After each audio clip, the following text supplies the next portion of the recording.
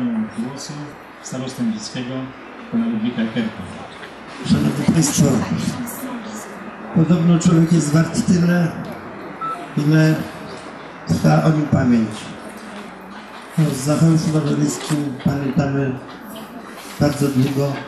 Mam nadzieję, że będziemy pamiętać wiecznie.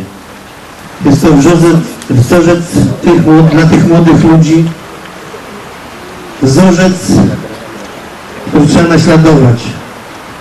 Bo jak powiedział marszałek Piłsudski, wolność nigdy nie jest dana na zawsze. Szanowni Państwo, miałem przyjemność znać osobiście brata naszego dzisiejszego bohatera Izydora. Był moim wychowawcą w szkole.